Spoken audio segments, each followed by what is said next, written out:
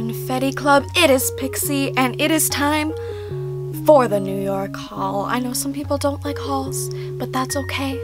I did five whole vlogs. There's five whole pieces of Pixie content also from the New York trip, but I did an itty bitty, teensy tiny, itsy bitsy little spider amount of shopping. I did like a medium amount of shopping. With what shall I start? I'm gonna start with some of the bigger slash more favorite exciting things. I did pick up from Trash and Vaudeville, which I believe is the fourth vlog these shoes by YRU. I think in the video I said they were the Cosmo Sky Highs. That's not what they're called at all. These are called the Sky Skies. It might still be Cosmo. I don't know. It's literally just Sky Sky, but I love them. I am so glad I got these. I hummed and I hawed and I wasn't sure because I just bought another pair of shoes that day, but I love shoes. You can never have too many shoes and they're wonderful and they're so so comfortable. I know.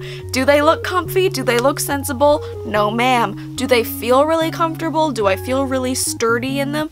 Yes ma'am as well. So these very good choice. I think they're 140 something US.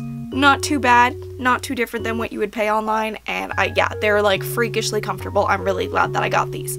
And they're a nice, calm, nude neutral, as in they're kind of iridescent, and iridescent is kind of my nude. It kind of goes with anything, so like, you got an outfit, don't know what to wear with them? Cloud shoes. My second shoe adventure from New York was at Spark Pretty. That is in the same vlog as Trash and Vaudeville. And it is these absolute beauties. I think these are also, no, these are Current Mood. I saw these online around like November or December of 2017 and I wanted them so bad and I almost got them but they were out of stock in my size which is an 8 my boy a frickin' wit a frickin' hatchy and they had them at Spark Pretty in my size and they're just amazing they don't go up all the way I don't know why I have another pair of shoes that are like that maybe I have thick calves perhaps but they're just gorgeous we're gonna give him the close-up he deserves.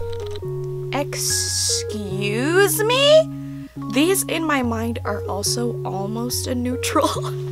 Because it's like white and then it has all the colors. You can see some of the gems have fallen out of their little rhinestone thing, but it does come with a little Ziploc baggie of extra ones to replace which I mean is okay. I mean, you could have just glued the gems in better to begin with, especially because these also were like 130, 140 bucks. But I love the frick out of them. I haven't worn them with an outfit yet because they're just so precious and amazing. Definitely, these are comfier, more of an everyday cash shoe. These are a little bit more fancy.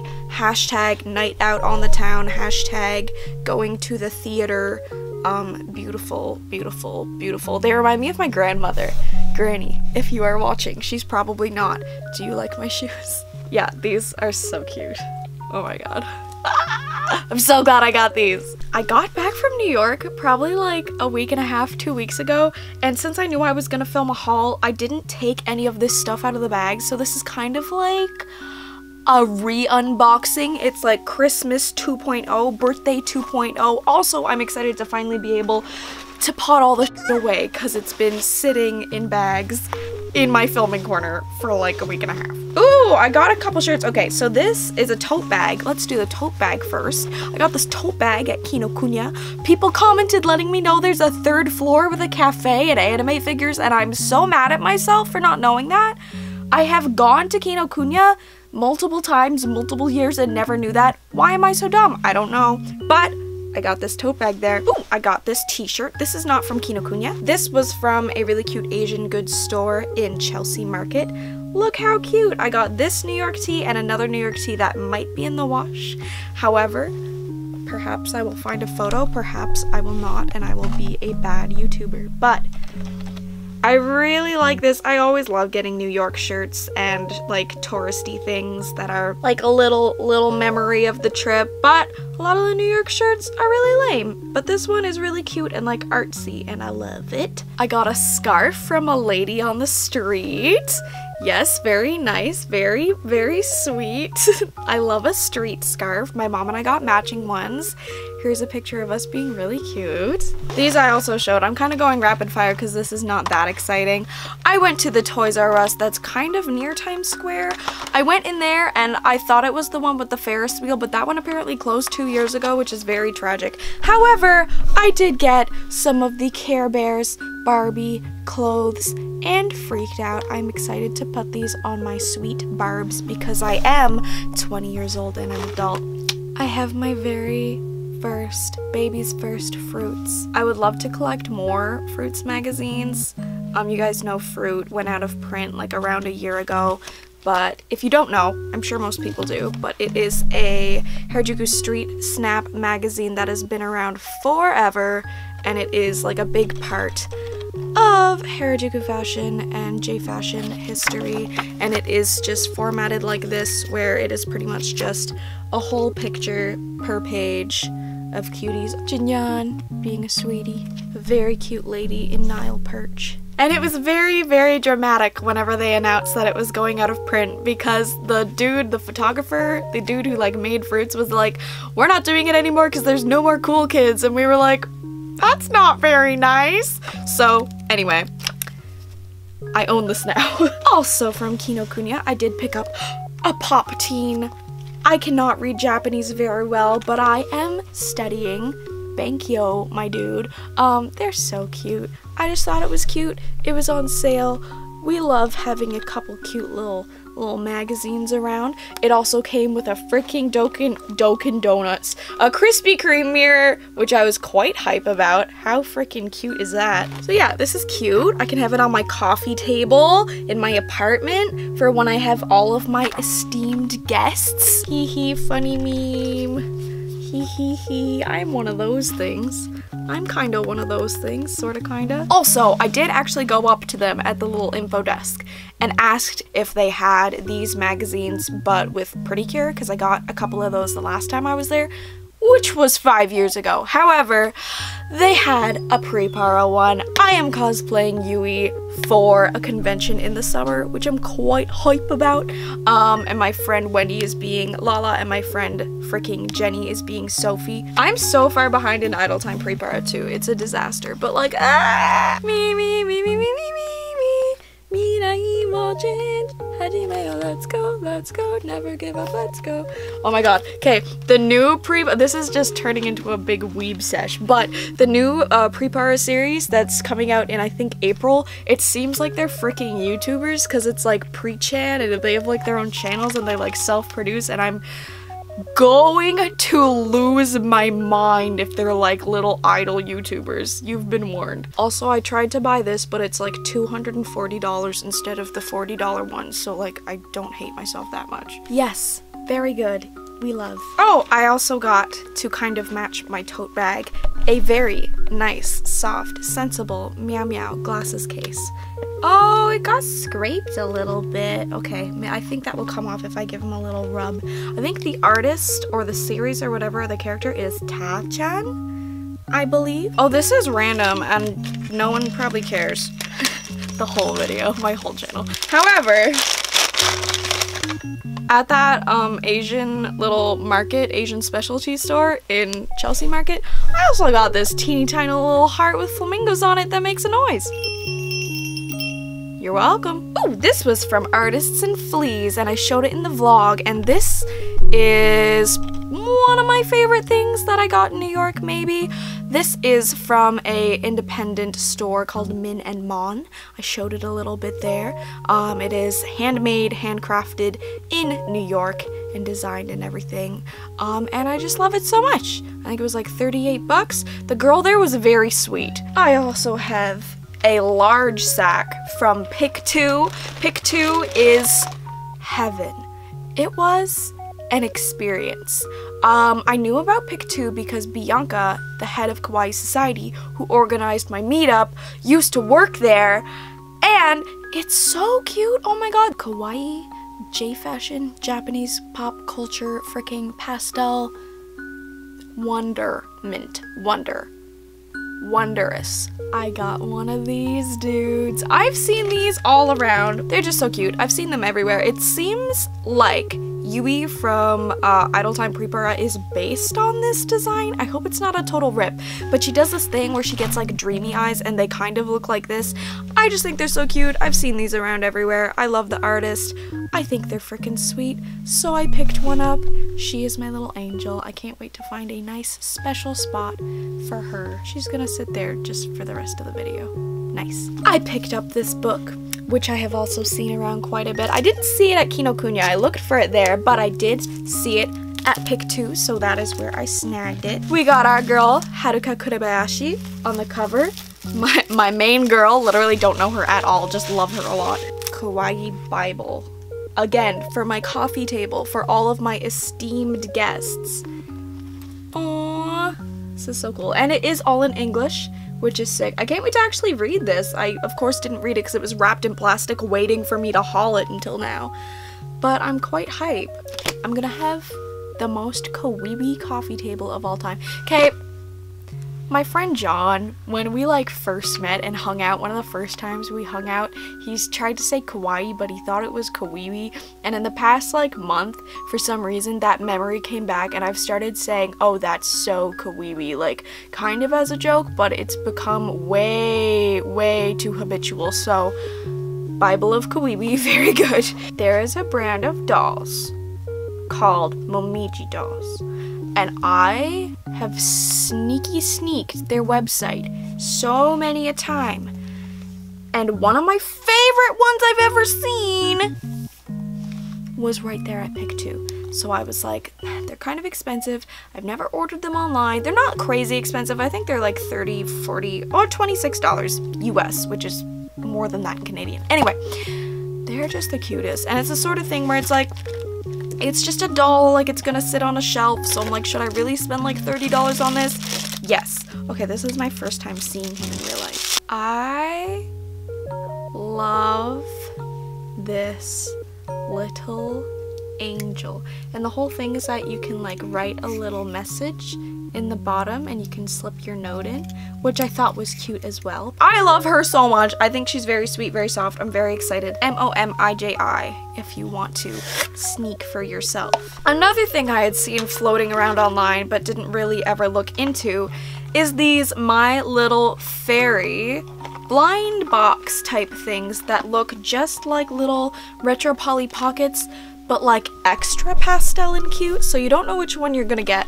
But I got the pink heart, which is always a very good choice. And then inside, it's straight up like Polly Pocket Pastel Wonderful Extra Wonder Amazing Fantastico Great good. I like it a lot. It's really pretty. Look at her go. So yeah, you get the little, I want to say Polly, but you get the little fairy girl. And she's just itty bitty and she can stand there or you can stand her in the boat and the boat also is a separate thing. And I think back in the day with the original Polly Pockets, you could like fill some with water and have them like float around. Maybe that's the idea with this. This is beautiful. I wish I had bought more of these. I didn't completely know what they were.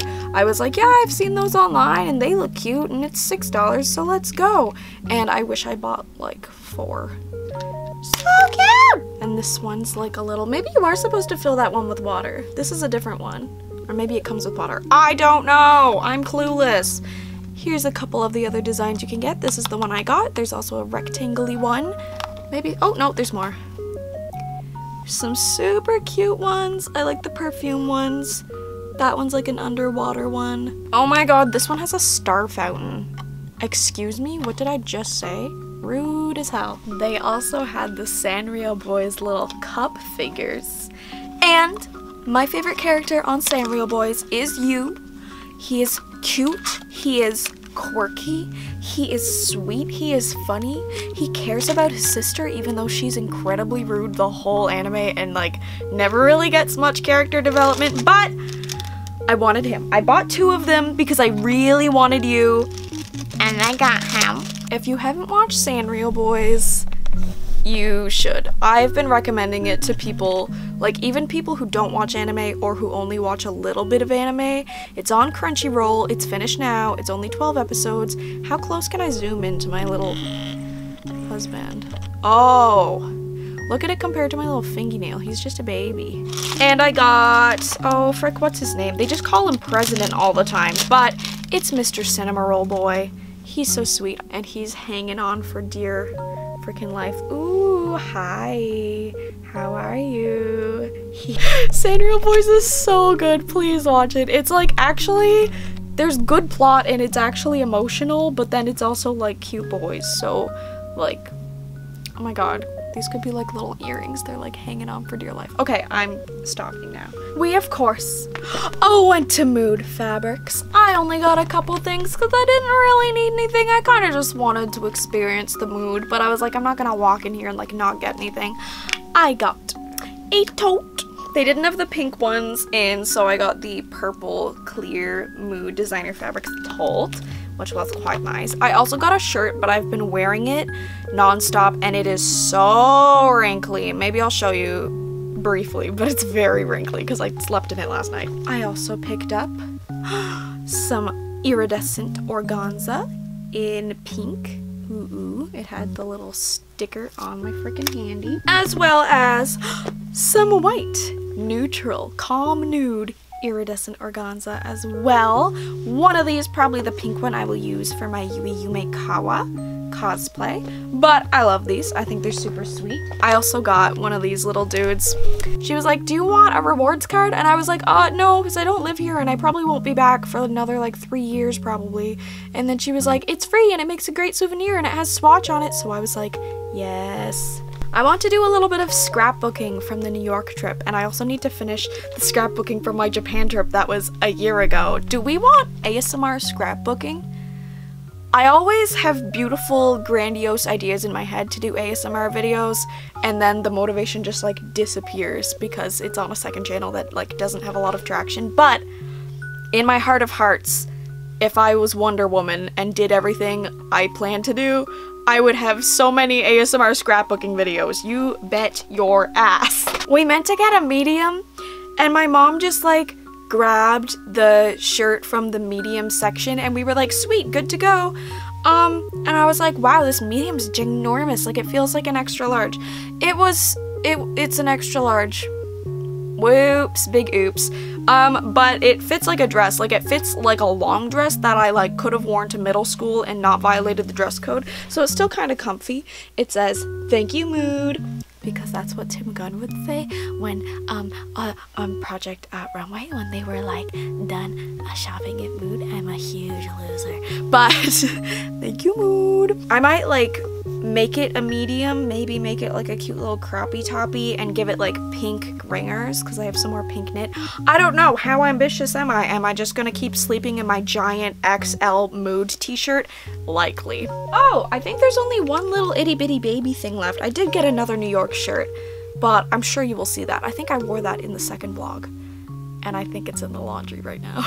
I got these headphones! These are from Flying Tiger and I forgot to include them in my Flying Tiger Sensible Home Goods haul because they're not home goods and also because they were in my bag because I was using them because they actually don't suck. These were $7. $7. Set dollars. And they actually don't suck. I was prepared for them to kind of suck. But we have the beautiful color blocking. Ooh, ah, the mint, the green, the yellow, the yellow, the pink, the blue, the green, the pink. Oh my lord, they are on the game. And then it has like the little freaking spirally boy so you can like turn the volume up and down. And the audio is good. They're better than my swimmer headphones, which also are cheap and cute. Will I ever buy headphones that are normal looking and better? Probably not. Alright, my ghosts and goblins, I believe that's the end of the haul. This video's future Confetti Club members are Princess Confetti and Zeddy Poo on Instagram. We got a Luke and we got and art. I just saw this one just now. It is just so cute. It's a sweet little painting on a sweet little canvas, and I love little starsies and little heartsies. It is just so cute. And from Princess Confetti from Germany. Wow, hello. That's not how you say hello in German. Hello. Um, looking so cute with a purple slash royal blue confetti club tee, rocking with the yellow. The purple and the yellow is such a Luke. This is so cute. You also have the rainbow banks. Look at you go. My cat's mad. What's wrong? What's wrong? You never meow here. What is wrong? Do you want to come say thank you to the confetti club? He's walking away. Well, I'm sorry that got um, cat ambushed, but thank you both for your support. I love you so, so much. I love you guys all so much, and I will see you in the next video, which is not this one, because this one is over. Bye!